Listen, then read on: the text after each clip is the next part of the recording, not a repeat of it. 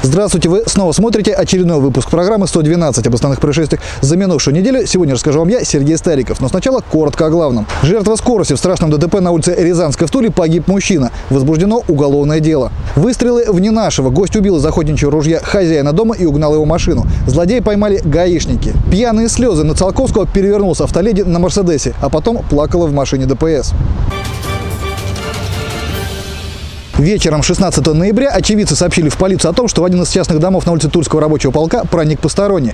По словам соседей, неизвестный разбил окно и таким образом проник внутрь помещения. После поступления сигнала от бдительных жильцов на место выехала полиция. Стражи порядка действительно обнаружили, что в доме разбито окно, а на земле под ним лежат старая автомобильная покрышка и ведро. Судя по следам на стене, последние два предмета, проникшие внутрь жилища человек использовал в качестве ступеньки, чтобы было удобнее. В комнате стражи порядка обнаружили спящего пьяного мужчину, а потом оказалось, что дом снимают приезжие, а предполагаемый злоумышленник вовсе не преступник, а знакомый, которого, по словам одного из квартиросъемщиков, они сами пригласили к себе домой.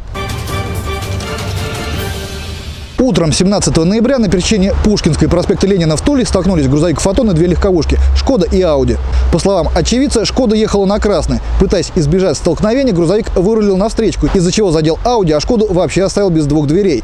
В результате ДТП незначительно пострадал водитель «Шкоды». Туле огласили приговор экс-врачу Главного бюро медико-социальной экспертизы. Она торговала справками об инвалидности. Всего доказано более пяти эпизодов получения взяток. Суд приговорил женщину к штрафу в 600 тысяч рублей с запретом занимать должности в бюро медико-социальной экспертизы сроком на три года. Поздно вечером 17 ноября на улице Рязанска в Туле произошло страшное ДТП с участием автомобилей Volkswagen Passat и Volkswagen Golf. Сейчас трудно сказать точно, что именно произошло в районе автозаправки перед поворотом на Новомосковское шоссе.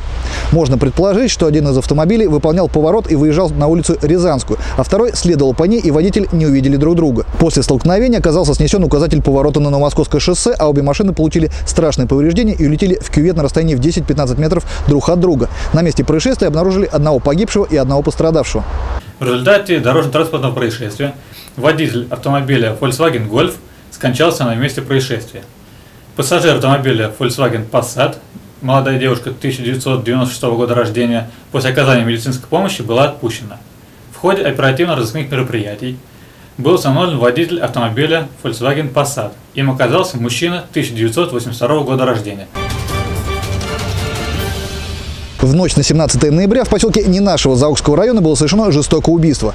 Дом находится в самом центре поселка. Хозяина жилища застрелили из ружья, а его знакомого избили. После этого преступник скрылся на машине убитого автомобиля «Вольво» с номерами столичного региона. Как сообщили в ОМВД, для поимки убийц в Тульской области вводился план «Перехват». Сотрудники ГИБДД обнаружили угнанную машину, начали погоню и остановили «Вольво» неподалеку от Тулы.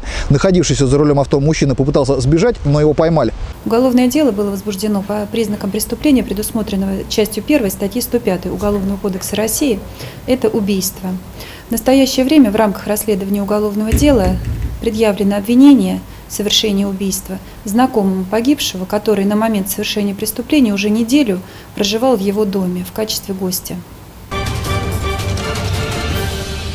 Тульский областной суд вынес обвинительный приговор ранее судимому 26-летнему мужчине, который убил 76-летнюю старушку. Кроме того, его признали виновным в краже и разбое. 19 февраля обвиняемый представился сотрудником водоканала, попал в квартиру пенсионерки и украл у нее мобильник. А 17 марта мужчина зашел в одну из квартир в доме на улице Халтурина, где жила престарелая женщина. С собой у обвиняемого был булыжник, которым он ударил пенсионерку по голове. Затем начал душить, повалил жертву на пол и наступил на шею ногой. После этого мужчина похитил имущество жертвы на сумму в 12 15 тысяч рублей и скрылся. Приговором суда ему назначено наказание в виде 17 лет исправительной колонии строгого режима.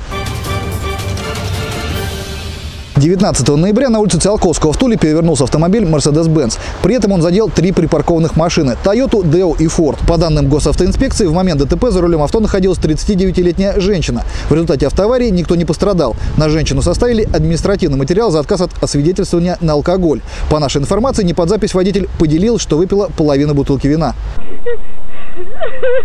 Самое главное, что ты жива. Все живы. Это самое главное. 19 ноября в одном из кафе-баров на улице Гастелло в Туле пытался покончить с собой 34-летний мужчина. Пострадавшего госпитализировали в больницу с травмой кисти руки. Его жизни сейчас ничто не угрожает. Известно, что мужчина злоупотребляет спиртным.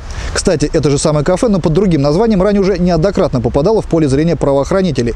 Так, в конце октября прошлого года рядом с ним пырнули ножом одного из посетителей.